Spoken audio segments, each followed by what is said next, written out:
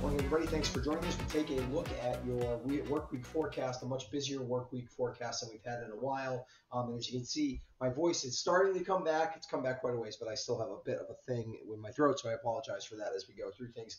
Um, I will have several forecasts out this week. Basically, today I'll have one on Wednesday and Thursday as well. I think, as um, particularly our Thursday storm is going to be quite um, uh, impactful. Okay, so what's going on across the country? First of all, we have a very busy um, subtropical jet stream here that's giving uh, a lot of moisture into the area. Um, we also have, we're going to see it, there's a, a sort of significant cold over Canada, something we really haven't had for a big portion of the winter. That's going to help set the stage for some more significant snow uh, or frozen precipitation, certainly throughout the week. Um, we have a system uh, or some energy diving in across uh, far west, um, uh, western part of the United States, and also a little bit of a system here central United States. Uh, this system here um, is going to be headed in our way for Tuesday, uh, tomorrow. Um, it's going to bring with it some snow. This one's kind of minor, uh, but then as this and this kind of come together, along with the cold air to our north, we're going to get significant frozen precipitation on uh, Wednesday night into Thursday. It's basically the time frame for that. So um, as you look on radar, we do have a bit of a front moving through today. We could have them give us a sprinkle or two. Um, but most of this is not going to hit the ground. This looks much more impressive on radar than it is. Here's our system for tomorrow. You can see it's basically a clipper. It's going to swing through basically as a front and as a bit of a storm. Um, um, and I think it's going to be basically bring flurries, although there is definitely the chance for a snow squall. Um, and uh, we could get a little bit of accumulation. I have an accumulation map for you. It's not going to be anything too, too significant. Um, and then this system behind here, uh, combined with some moisture and some energy on the southern jet stream, is what's going to create our storm, our big storm for later in the week. Uh, let's take a look day by day, basically how we're going through things. So here today, this afternoon, 1 p.m., here's that front that's uh, mostly associated with low pressure system well to our north. Here's the high pressure, the cold high pressure system that's uh, sitting over Canada. This is going to kind of sit to our north basically all week. This front, like I said, kind of swings through. Um, we're going to be warm today ahead of the front. Um, temperatures up in the mid 40s uh, for a lot of locations, low to mid 40s. Um, and like I said, we could get a sprinkle or two today with the passage of this front, but not that significant.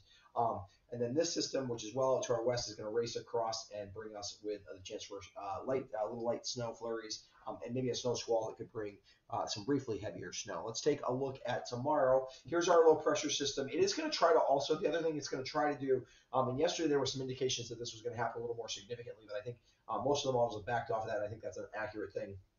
Um, it was going to try to redevelop off the coast. Sometimes clippers do that, and that can allow them to become uh, much more significant. I don't think this one is going to do that in such a way that it becomes a significant storm for us.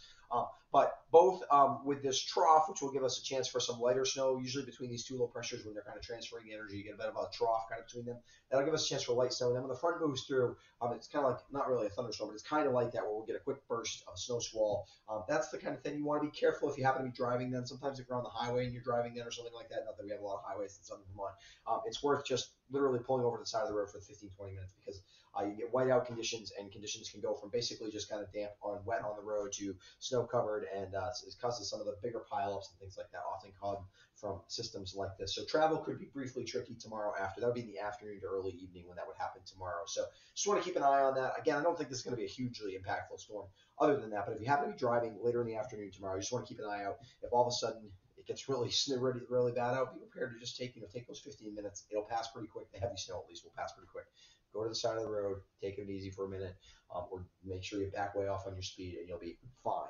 Um, as we take a look at Wednesday, um, here you can see we still have this high pressure. It's kind of off the map to the north. You see the southern part of it there, but it's pushing cold air in. And I'll show you a temperature map here um, at, later on. And uh, the cold air, uh, actually, I don't think I actually do uh, put the temperature map in, but uh, basically there's uh, minus 30s and 40s in Canada today. I, was, I didn't have enough time to give you that map as well. But um, 30 minus 30s and 40s, we're not going to get that temperature, but it is moving cold air across us. And by that point, the storm, which you just saw a piece of on Tuesday, is kind of coming together more here across the central part of the country, um, kind of surging some warm air north um, and with that is a lot of moisture. And when you hit the, when the moisture hits the cold air, it's going to ride up over the warm air, and uh, it's going to give us some snow um, and just definitely a chance of some sleet, possibly some freezing rain as well. I think we'll stay mostly frozen for this, um, at least if trends continue right now. So as we take a look at on Thursday, by Thursday, primary system still out to our west. It's got snow to its north. Where that warm front was, it's kind of become a stalled front. There's another system kind of developing off the coast as the, the system transfers its energy way out to the east. And along that boundary layer, there's still kind of a frozen mix going on. Now, um, it's a little too early to know exactly how that's going to play out, but right now I would lean more towards snow and sleet with a little bit of freezing rain than uh, a lot of uh, kind of freezing rain uh, involved in this. But we have to keep an eye on it. Um, this is definitely a potentially uh, nasty setup, um, and really it'll be significantly impactful no matter what happens. It could fall mostly as snow, in which case we're going to get quite a bit of snow out of this. It could fall as kind of a combination of snow and sleet. We'll still get a decent amount. Allowable um, if it's mostly snow and sleet. Um, the most dangerous situation would be if it became mostly a freezing rain event. I think um, looks like more sleet than freezing rain right now. But if that were to happen, that becomes very problematic because it would be potentially enough freezing rain to cause um, not just problems on the roads, but also problems with the trees. We'll have to keep an eye on that. Um, like I said, right now I don't think that's the likely scenario. I think it's more like a snow and sleet and enough to plow and a kind of a it'll be heavy and, and not a lot of fun to move, but it will be uh, that'll be what it is. Okay, let's take a quick look at the snowfall map for Tuesday. Um, like I said, on Wednesday, I'll have an update on the Thursday storm. Uh, Wednesday night to Thursday storm. I'll also have an update on, on Thursday morning, probably.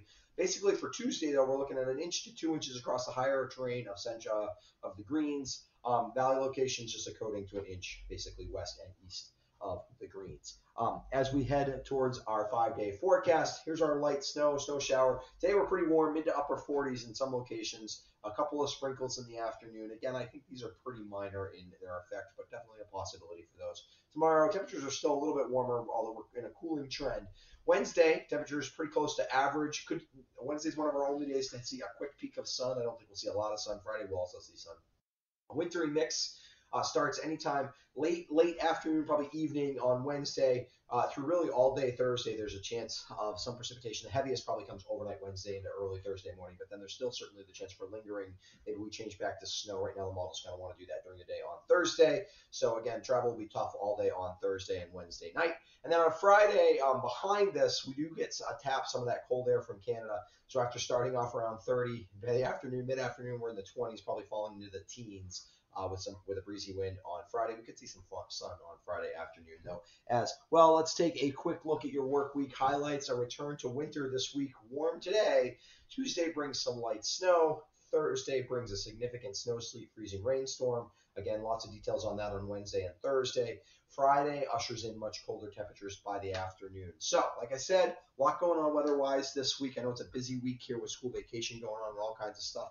Um, I will be back on Wednesday and on Thursday, I think, uh, mornings with uh, with additional forecasts this week. Um, if you want to make sure you don't miss any of those, you should subscribe to my YouTube channel. Helps make sure you don't miss any of them. Uh, if you want to make sure you get notifications, you hit the little bell next to the subscribe thing. That'll make sure you get notifications, push notifications on your phone, things like that. Um, also, want to give a quick shout out to my patrons. They help support what I do here, and um, they also get some bonus uh, material, uh, content and things like that. So uh, if you're interested in becoming a patron and help support financially what happens here at the West River, River Weather Guy, go ahead and link, click the link in the description below and uh, it'll take you to my Patreon page, which talks about what it means to be a patron. All right, thanks for joining me. Like I said, I will be back on Wednesday with an updated look at. Mostly, we'll look at Thursdays, uh, the Wednesday night and Thursday storm on Wednesday.